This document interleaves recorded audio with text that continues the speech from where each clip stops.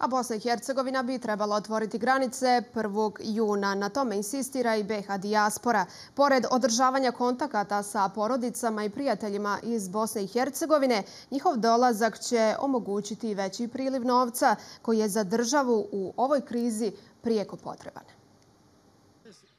Salem Gugić, slikar i prodavac svojih dijela, strahuje zbog predstojeće sezone. Ukoliko ne bude dolaska dijaspore, upitan je i njihov posao. Što se tiče sami dijaspori, znači sve ovi ulični prodavači kao mi što prodamo slike, oni su nam u ti četiri mjeseca 90% mušterije i koji stvarno puno potroši para sad ova sezona ako nam ne dušu, to će biti jedan mali haos. To misli Armin Alagić iz biznis centra BH Dijaspore. Bosna i Hercegovina jednim dijelom živi od tog novca.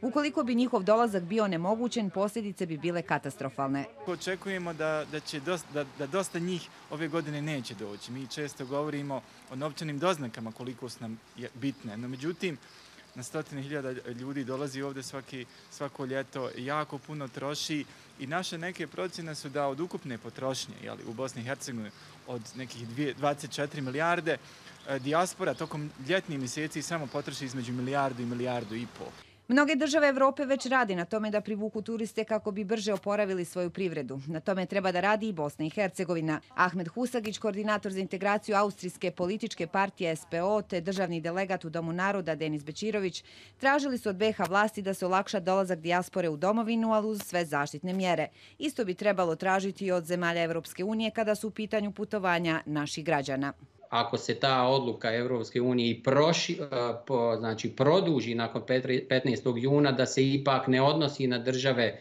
Zapadnog Balkana, nego da ljudi iz Bosne i Hercegovine i Srbije mogu a, da putuju u Evropsku uniju.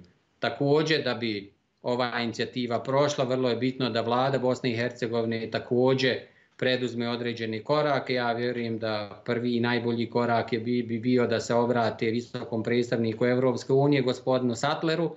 Svake godine novčanim doznakama BH Dijaspora pomaže svoje porodice. Ta vrijednost na godišnjem nivou je oko 2 milijarde dolara. Ove godine se očekuje pad novčanih doznaka i do 20%.